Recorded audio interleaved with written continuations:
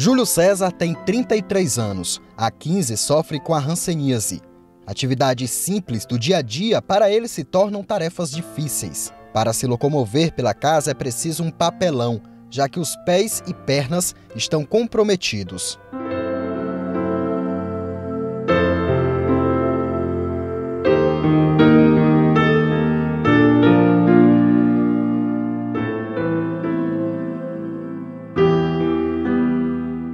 Meu dia a dia não é bom não, porque desse jeito aqui para você ir pro banheiro, tomar um banho é ruim, né? Que eu sento aqui e vou sair puxando dali para ali.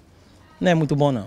Um esforço grande. Um esforço grande, né? Sentar para andar com a mão no chão, para ir banhar, usar necessidade no banheiro, tá muito bom não. Júlio César morava sozinho no bairro Três Andares, zona sul de Teresina. Por causa da situação, a irmã e o cunhado levaram ele para morar juntos no Parque Colorado, zona sudeste da cidade todos ajudam o rapaz. E por que vocês resolveram trazer ele para cá? Porque para poder tirar ele dessa vida que ele tá, porque não tinha condições. Aonde ele estava, ele ia morrer. Entendeu? Então eu fui lá visitar com meu cunhado e achamos ele uma situação muito triste. Aí combinei, compadre, vamos levar. Vamos levar. O apelo é nós mesmos, né? Que a família somos nós. Aí peguei e me trouxamos para cá.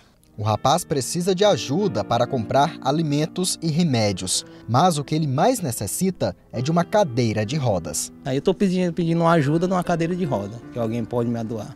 Por que com a cadeira de roda seria melhor para você? Ficar melhor, porque tem como eu cojar o pneu, né? Vai sair mais movimentado. Estou sentado, não no chão, não no papelão. Estou sentado em cima de uma cadeira.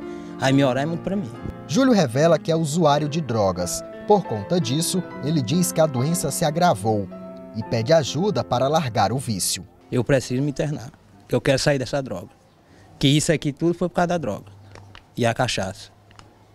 E eu estando lá, eu estou me receitando e quero sair meio de uma vez. Você tem a convicção de que a droga e a bebida foi que causou foi, isso para você piorar? Foi ela. E eu digo assim para muitos usuários, para deixar de mão, para não ficar como eu estou. É um conselho já e a vista que ele está vendo aqui, minha atuação, né?